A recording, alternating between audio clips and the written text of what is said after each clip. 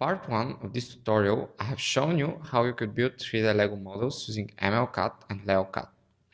As I promised, today I'll show you how we can edit the models using LD Design Pad in order to smooth them. After that, we will generate PDF instructions for building our model using LPub. Here we have the models we have built in episode 43. So I'll open LD Design Pad and load the first one. So actually the LDRAW file looks like this with many many numbers. First we have uh, some model info and then we have several wines which all begin with 1. This means that each wine adds uh, parts to the model. The next number is the code for the color of these parts. In our case, they're all black.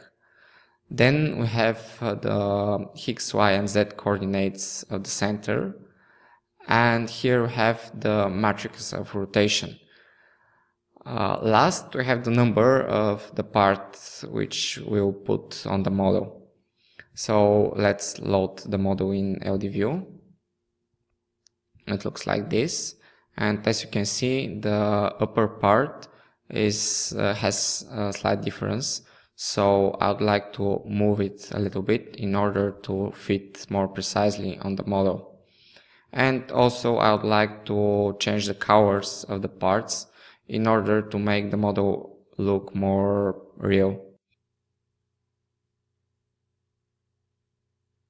Uh, first I'll begin with changing the color. So the first part is Technic Beam. So it's uh, dark gray, so it will be 72. You can also find the code numbers here. You don't have to know them by heart. Next we have the Technic Pin Wong, which will be blue, so it's 1. Okay, and these two are the Technic cross blocks, which are light gray, which is 71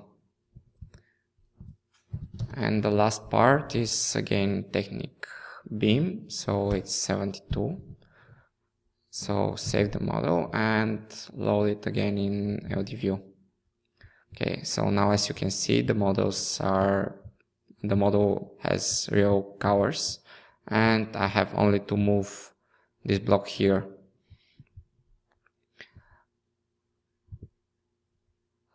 the orientation of the block is right so the only thing that I have to move is uh, its coordinates.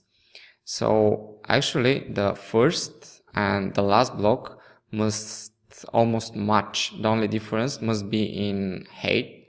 So as you can see the first the X coordinate matches.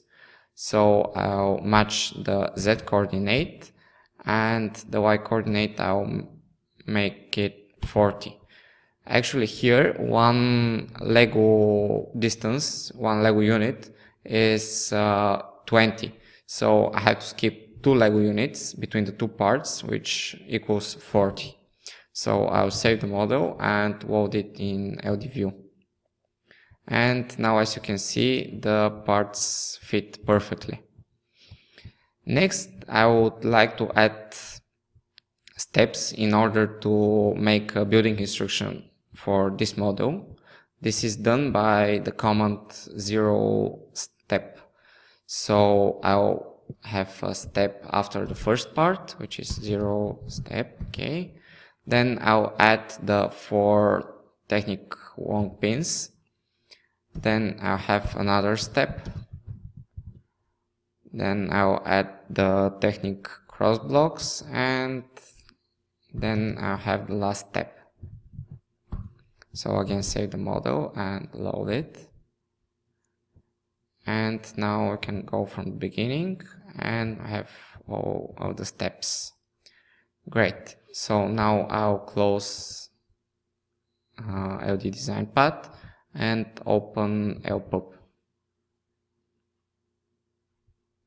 Here we'll load my first model. And as you can see there's automatically generated PDF which you could use for building instructions if you want to rebuild your model.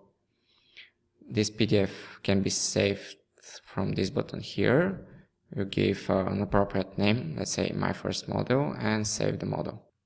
So let's see how it looks like. Here is the PDF we have generated and as you can see the instructions are pretty nice.